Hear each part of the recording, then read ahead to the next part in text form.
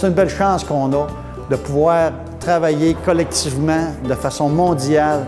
On partage des réalités d'un bout du monde à l'autre, des réalités euh, géographiques vraiment différentes, mais des réalités économiques et politiques qui se rejoignent sur bien, bien des plans. Nous sommes venus pour des choses. La première des choses, c'est visiter ce que nos amis producteurs agricoles du Québec et du Canada font. Deuxième chose, démontrer l'importance du partenariat entre le Sud et le Nord.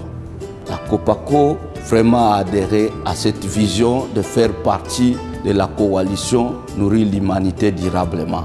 Et avec ça, nous pouvons dire qu'on va arriver à promouvoir la souveraineté alimentaire. Le besoin de s'alimenter est toujours, euh, ça c'est universel. Je pense qu'avec UPADI, ben, on, met en place depuis plusieurs années, depuis 30 ans cette année, des, euh, des, mises en marché collectives, se regrouper pour euh, développer un rapport de force de, leur côté avec leurs produits qu'ils peuvent mettre en marché, avec les actions qu'ils mettent en place, puis le développement de base qu'ils font, tout va passer par là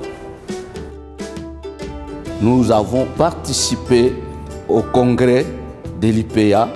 Nous devons aussi suivre quels étaient leurs défis, comment ils avaient surmonté les obstacles. Alors ça nous aide, nous aussi, dans la lutte paysanne, à apporter notre contribution dans la recherche, dans le suivi des politiques et aussi des politiques et budgétaires au niveau national. On a compris beaucoup de choses avec les ateliers.